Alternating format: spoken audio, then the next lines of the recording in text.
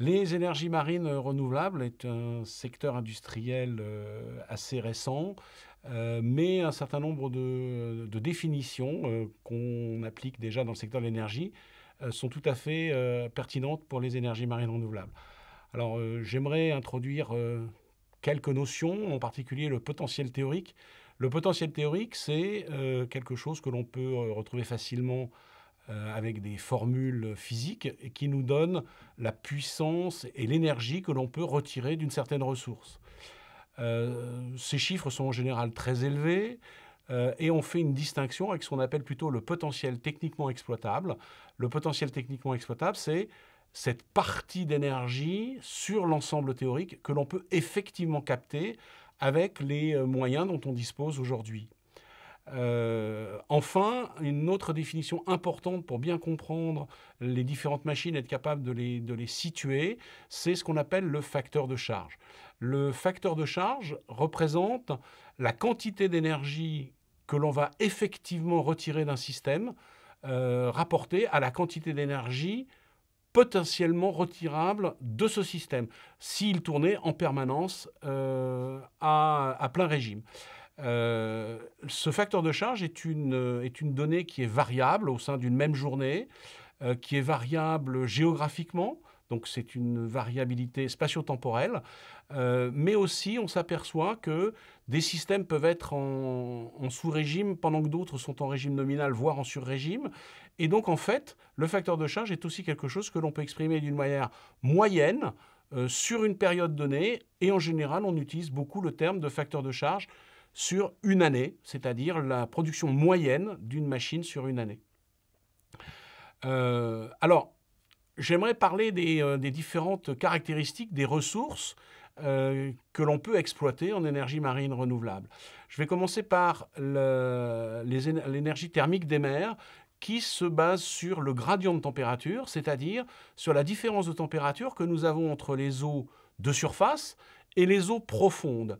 Euh, cette différence de température permet de faire fonctionner des machines thermodynamiques euh, et euh, on voit bien que sur le graphique qui se trouve en haut à droite sur ce transparent, on voit bien que cette notion de température, en particulier sur les eaux de surface, est quelque chose qui peut varier euh, d'un moment de l'année à un autre, euh, même dans la ceinture intertropicale où euh, sont particulièrement efficaces les systèmes d'énergie thermique des mers, eh bien, il y a des saisons et donc des variabilités de température. donc on voit bien le trait rouge sur cette, ce, ce transparent présente la température moyenne et on voit la variation sur l'année autour de cette température moyenne.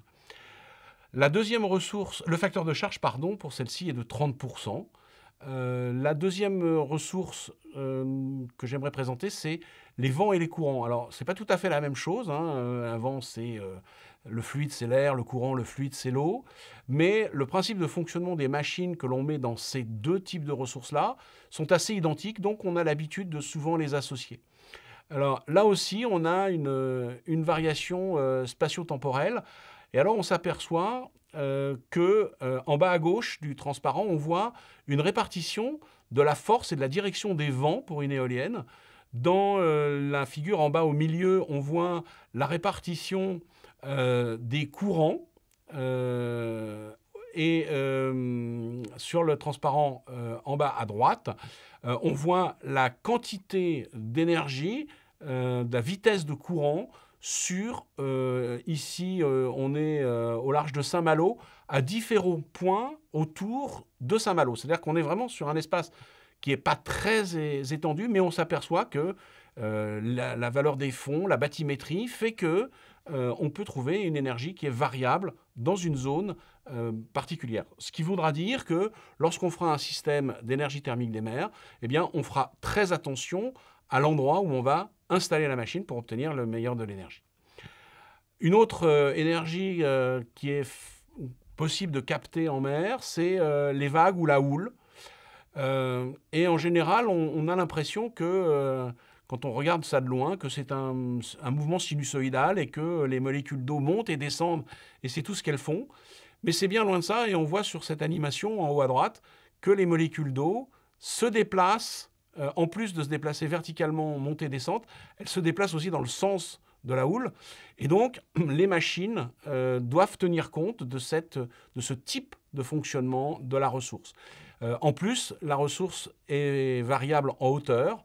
on a de grands mouvements en surface. Plus on va vers le fond, et moins les mouvements sont importants, mais ils existent toujours s'ils autorisent de mettre des machines en surface ou euh, dans la veine d'eau.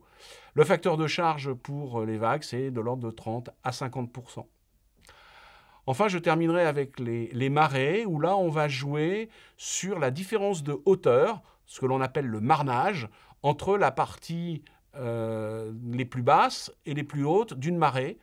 Dans les, sites les plus énergétiques euh, au monde, on peut aller de 10 à 20 mètres, sachant par exemple que euh, le record est en la baie de Fundy au Canada, mais on a aussi euh, l'estuaire de la Séverne au Royaume-Uni, mais aussi l'estuaire de la Rance en France, qui sont des lieux particulièrement énergétiques.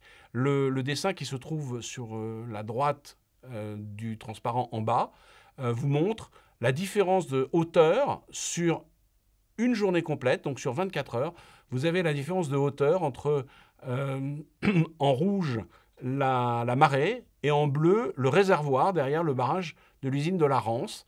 Euh, et on voit d'ailleurs, c'est assez amusant, que euh, sur la plage 12-16, le, réservoir va être à une hauteur légèrement inférieure à la hauteur de la mer, alors qu'au contraire, sur la plage précédente, entre 0 et, et 2 heures du matin, là, on aura surchargé le réservoir. Euh, le facteur de charge est de 30%, et puisque euh, je viens de parler de ces facteurs de charge, euh, j'aimerais juste rapidement montrer comment on obtient ces valeurs-là. Donc typiquement, l'usine de la Rance est dimensionnée avec une valeur pic de 240 MW, c'est-à-dire qu'elle a 24 turbines de 10 MW chacune. et on sait que l'usine de la Rance, par expérience, depuis le milieu des années 60, produit en moyenne 550 gigawattheures par an. Donc si on ramène ça au nombre d'heures euh, possibles dans l'année potentiellement, euh, on va obtenir 240 multiplié par le nombre d'heures euh, possibles dans l'année, on va obtenir un chiffre. Et si on divise 550 par ce chiffre, on obtient 26%. Donc c'est le rendement usuel d'une usine marémotrice. Je, avant de rentrer dans un on pourrait rentrer dans le détail des différents systèmes. Ici, je présente une, euh, vue euh, prospective de euh, des différentes sources d'énergie marine renouvelable, où on voit la progression de ces énergies. Alors, évidemment, on, est optimiste, on croit qu'elles vont, elles vont croître d'une manière importante, mais on s'aperçoit quand même de, certaines choses. Alors, sur ce graphique, il y a deux énergies qui, ont une inflexion c'est euh, l'éolien posé et l'hydrolien. Euh, les euh, éoliennes posées ont commencé bien plus tôt que toutes les autres technologies. On le voit en début de la courbe. On commence déjà en 2012 à avoir un certain nombre de, machines posées. et on s'aperçoit que les éoliennes flottantes, qui ont démarré beaucoup plus tard, puisqu'on est en, plein démarrage de ces technologies-là, vont, on, l'estime, euh, vers, euh, vers 2050, passer au-dessus des éoliens posés. Pourquoi?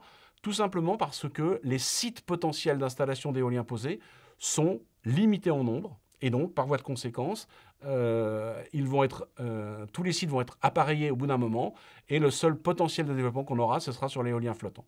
Et l'hydrolien, on est dans une situation à peu près identique. Lorsque l'on aura installé les sites, ce sera absolument terminé. Le TM ne représente pas beaucoup de sites. Euh, mais représente une véritable chance pour euh, des, zones géographiques très particulières, comme par exemple les îles de la ceinture intertropicale. Euh, les, les, estimations, pas forcément les plus optimistes, mais peuvent nous amener à penser que l'ordre de 15 à 20% du mix énergétique électrique mondial sera assuré par les énergies marines renouvelables à l'horizon 2050.